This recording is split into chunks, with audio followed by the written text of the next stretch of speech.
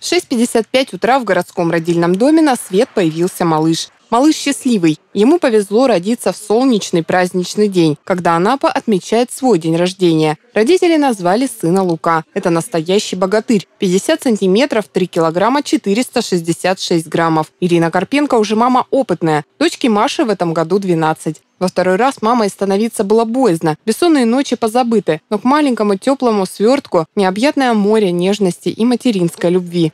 Он похож на папу. А я просто смотрю по носику и по губкам. У папы губки узенькие, и носик такой же, как у папы. Сына Виталий Береснев впервые видит как раз сейчас на экране. Малыш здоров и спокойно посапывает на руках у мамы. Дети – это счастье. Это чудо. Первая улыбка, первые шаги, первый класс – это все еще не скоро. Пока малыш прижимается к любимой маме. А мы поздравляем его и счастливых родителей с рождением чуда.